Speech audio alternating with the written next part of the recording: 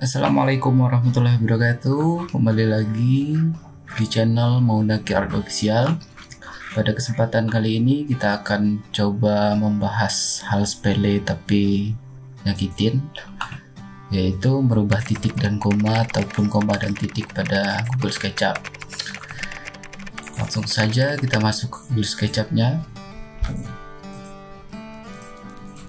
Pada sebagian komputer uh, untuk penulisan ataupun pembacaan koma atau titik di Google-nya itu berbeda-beda.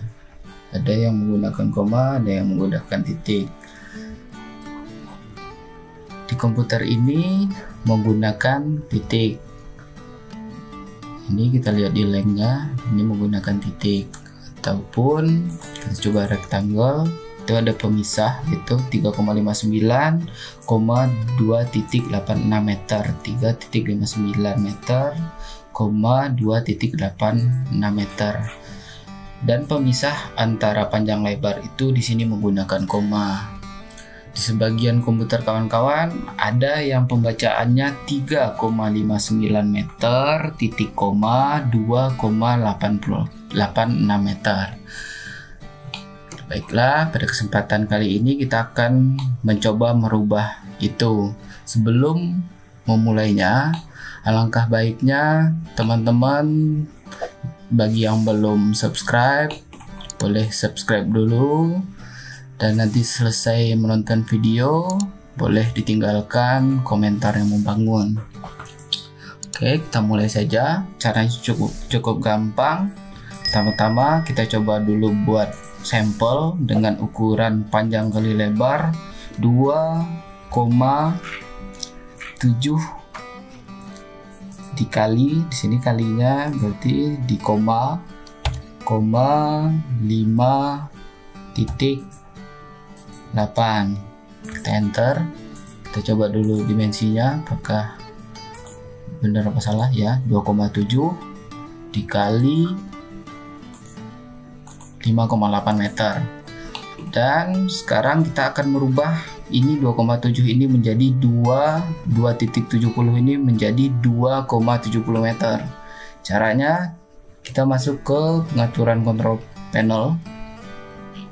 Kita ke bagian clock and region itu kita klik aja langsung di bawahnya change date time or number format dan masuk ke bagian region.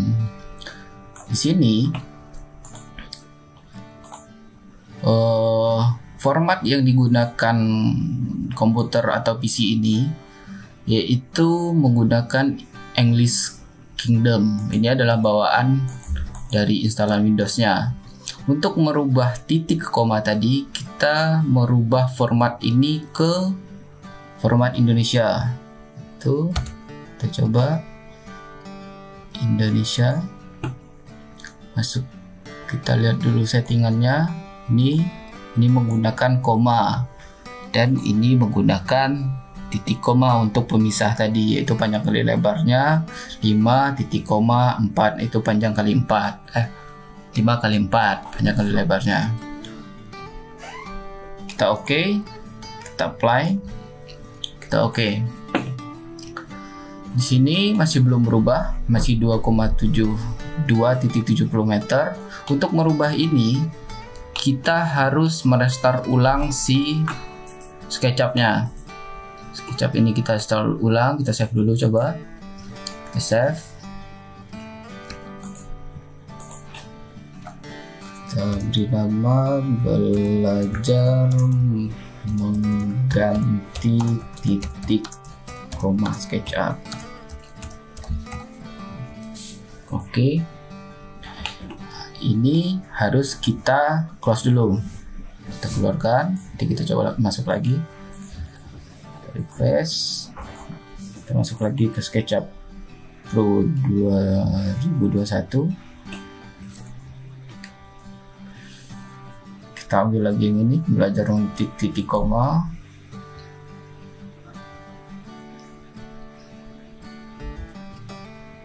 Jreng dan berubah.